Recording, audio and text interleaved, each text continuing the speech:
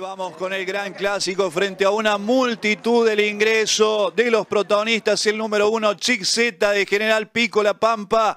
Y con el número dos, Mágico de los Azulejos, provincia de Córdoba. Ahí están los dos protagonistas para este gran clásico mano a mano que lograba Ariel Jaime en Villa Dolores para una distancia de 300 metros. El público acompañando esta gran reunión a la derecha de la imagen. Siva de mano en la largada. El número uno, Chick Z a la izquierda después del andarivel Viene el número 2 mágico de los azulejos. Y ahí tiene ya en la definición cómo toma diferencia el número 2. Y es victoria de mágico con la conducción de Gonzalo Riquelme. Alegría para toda la familia Uribe, para la barra de los azulejos y también de Mina Clavero. Ahí en Tras la Sierra en la provincia de Córdoba volvía victorioso, el número 2 mágico que viene con seguidilla de triunfos, dos en Tilizarao, dos en Villa Dolores y ganaba este gran clásico frente a Chixeta que no hizo una buena largada, después se tiró contra la empalizada del número uno y mire cómo venía con una trayectoria impecable.